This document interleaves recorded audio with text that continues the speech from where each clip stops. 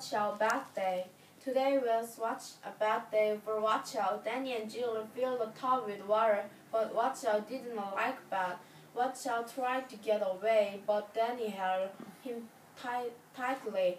Their new neighbor Scott came out came, came to their house. What are you doing? We are keeping Watch Out a bath. Watch out, what kind of a name is that? Watch out, jump out of the top of the land. Oh no, watch out!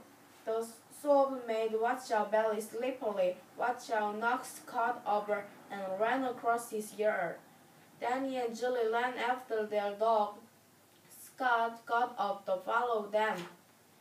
Old Mr. Haley was gardening. Oh no, oh look how, how beautiful my tulips are. Miss Haley, watch out. Oh no, not again. Watch out, some of Mrs. Haley tulip as he ran through his her garden. Sorry, Mrs. Haley. Take out the garbage, dear. Mr. Goodman wife said to Mr. Goodman. Mr. Goodman was cr crying to large garbage back to the bin.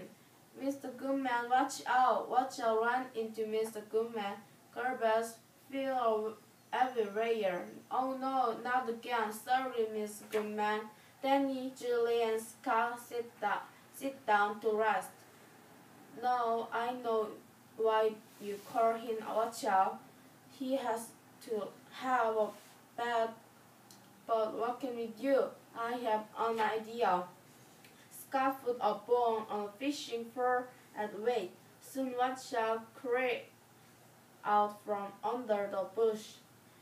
Scott dangled the bone in front of Watch Out as he led him to Danny and Julie. While Danny and Julie both watched out, Scott held the bone in front of the dog.